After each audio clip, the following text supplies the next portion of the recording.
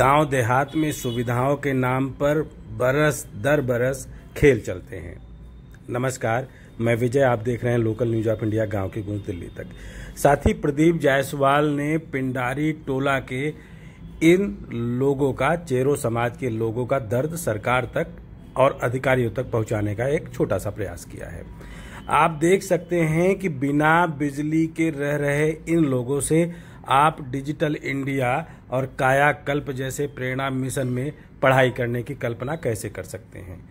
यह वैसे भी इलाका सहाय साहब का है। वही सहाय साहब, जहाँ मास्टर बिना हाजिरी लगाए सैलरी की मलाई काट रहे हैं चढ़ावा चढ़ाकर। ऐसा हम नहीं, ऐसा वहाँ का पूरा सिस्टम कहता है। जाँच का विषय है। जाँच डीएम साहब के यहाँ से निकलकर कहाँ गई? वो वक्त बताएगा। 2022 के बाद अगर योगी का रामराज बचा तो शायद इस पर कुछ सुनवाई होगी। नहीं बचा, तब तो प्रभु राम ही मालिक। यह चुनावी मुद्दे का जो माहौल है, यह हर टोले मोहल्ले गली कूचे में देखा जा सकता है।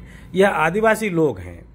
इनकी छोटी छोटी मांग को अगर इनका अपना विधायक, जो कि खुद इनके चेरो समाज का है, नहीं पूरा कर सकता तो लानत है ऐसे विधायक पर और ऐसे अपने समाज के प्रतिनिधि पर। रही बात ग्राम प्रधान की और सरपंच की तो इनके मन में तो खोट होता ही है, क्योंकि यह सिर्फ़ वोट की भाषा जानते हैं, या उनकी मदद करना चाहते हैं, जहाँ से इनको मलाई खाने का मौका मिले और फिर से इनको सत्ता में आने का आधिकारिक जुआड़ मिले।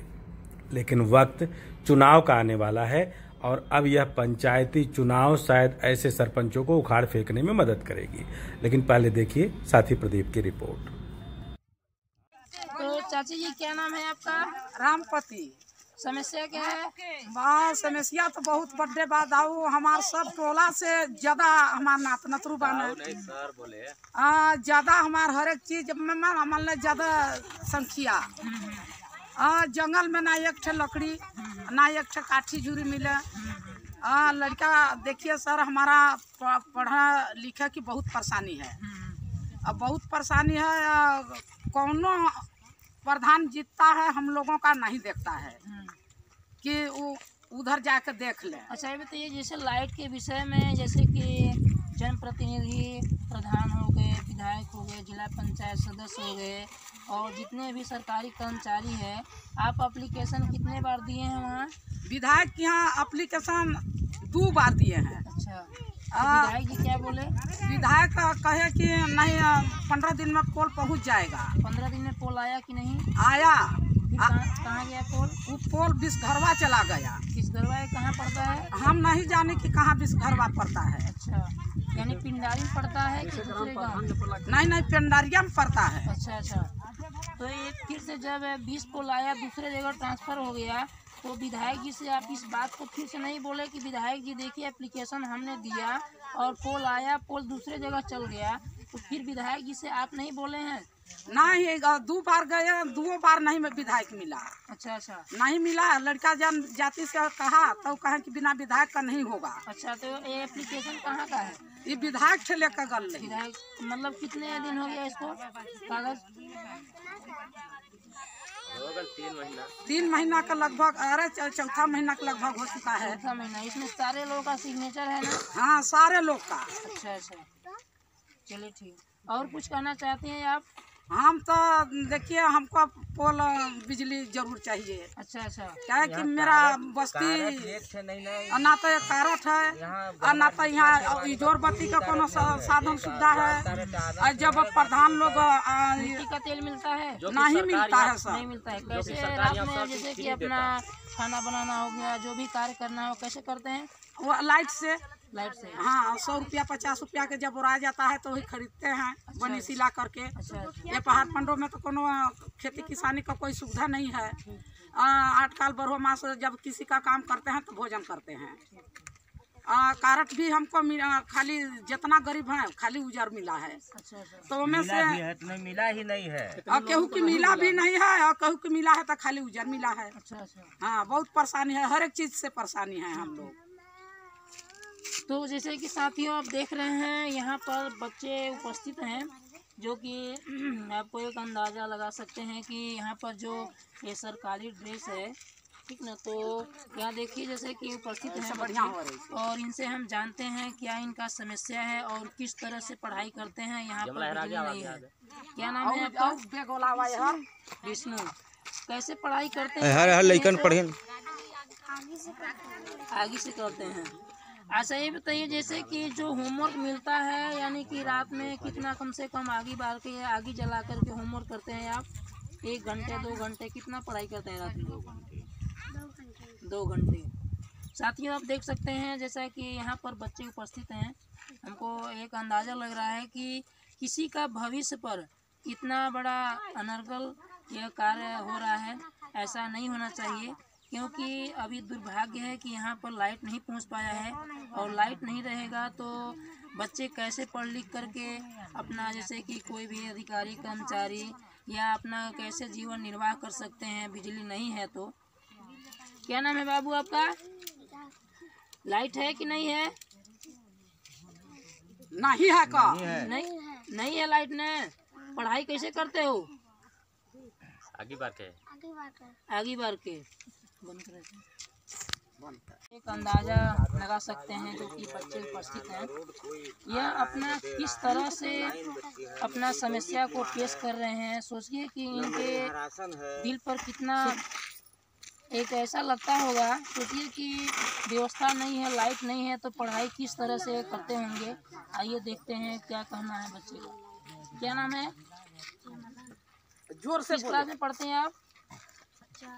चार में। पढ़ाई कैसे करते हैं? लाइट नहीं है तो। आगे बार के होमवर्क जो मिलता है तो होमवर्क कितना करते हैं रात में? यानी पढ़ाई का घंटा एक घंटा दो घंटा तीन घंटा कितने करते हैं? दो घंटा। अच्छा ये बताइए जैसे कि जो भी हमारे यहाँ जनप्रतिनिधि हैं जो आते हैं और उनसे आप लोग ये बोलते हैं कि हमारे यहाँ लाइट नहीं है हम लोग पढ़ाई कैसे करेंगे? तो क्या कहते हैं? कदे की कहना की दी है? अच्छा कहते हैं देंगे लेकिन अभी तक दिए नहीं है है ना? चलिए ठीक। इधर आइए। क्या नाम है? कृष्णा। कृष्णा। समस्या क्या है? समस्या यह है कि मैं पढ़ाई करता हूँ और लाइन बत्ती नहीं है।